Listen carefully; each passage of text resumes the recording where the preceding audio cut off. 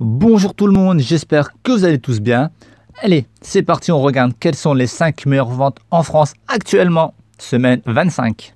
Il continue à chuter dans le classement, c'est le Mario 3D World, se retrouve 5ème cette semaine, il a perdu une place. Quatrième position, il a perdu deux places, c'est le Ring Fit Aventure. Sur les marches du podium, il ne bouge pas comme la semaine passée, c'est le Mario Kart 8 Deluxe. Il perd sa place de numéro 1 cette semaine, c'est Ratchet Clank, donc sur PlayStation 5 se retrouve deuxième. Et enfin, la première position, c'est logique, c'est une nouveauté, c'est le Mario Golf Super Rush sur Nintendo Switch.